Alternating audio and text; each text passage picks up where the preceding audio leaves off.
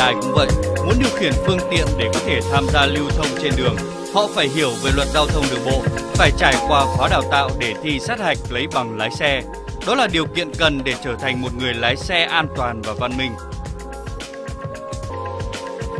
Đối với những người lái xe taxi thì còn cần thêm một kỹ năng nữa, đó là cách để không những lái xe an toàn mà còn biết những kỹ năng cần thiết để trở thành những người lái xe thân thiện với khách hàng.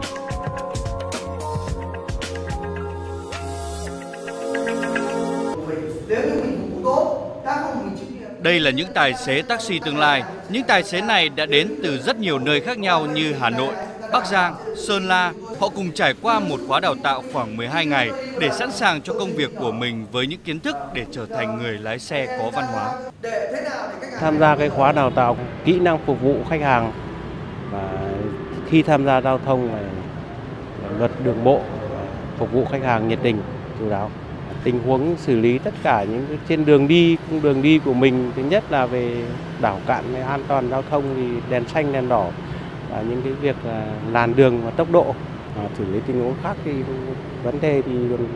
khách hàng để quên đồ hoặc là những cái gì mình phải trung thực trả lại cho khách và nhiệt tình về báo về trung tâm. Để điều khiển được ô tô, tất cả những người này đều có bằng lái, tức là họ đã trải qua một khóa đào tạo về luật giao thông Tuy nhiên, theo các giáo viên, 80% trong số họ chưa thực sự hiểu hết những gì lẽ ra họ phải biết cặn kẽ. Vì vậy, một khóa đào tạo tài xế taxi là điều rất cần thiết để xây dựng hình ảnh của ngành dịch vụ vận chuyển khách hàng an toàn và văn minh. Ở đây các học viên được học lại những kiến thức về giao thông đường bộ, học thêm những luật dành riêng cho xe taxi như dừng đỗ thế nào và cách phục vụ, giao tiếp, ứng xử có văn hóa với khách hàng đi xe, đặc biệt là tính trung thực, đạo đức của người lái xe.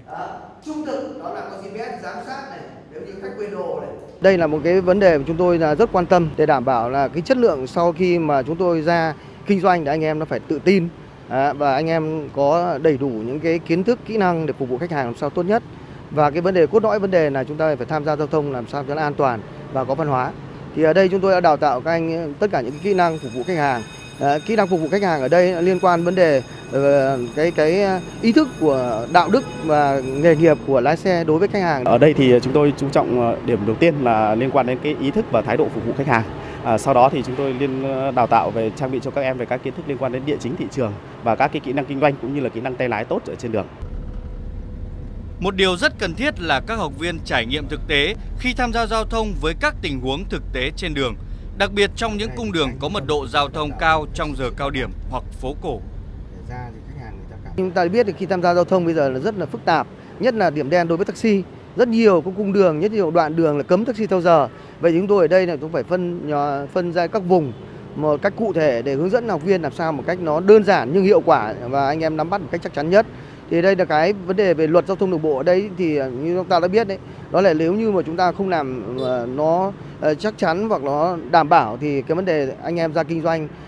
taxi này nhất là suốt ngày anh em ở ngoài đường ấy, thì là rất vất vả. Ngoài cái vấn đề giảng lý thuyết về luật giao thông trên trên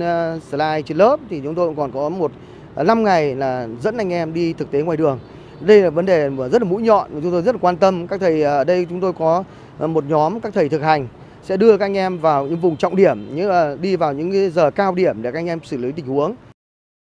Lái xe an toàn, có văn hóa là điều cần hướng đến và đào tạo lái xe có bài bản, đúng quy cách chính là bước khởi đầu cần thiết cho mỗi người. Với những tài xế taxi, đó là điều còn cần thiết hơn để góp phần xây dựng hình ảnh đẹp về giao thông và tạo niềm tin, uy tín đối với khách hàng.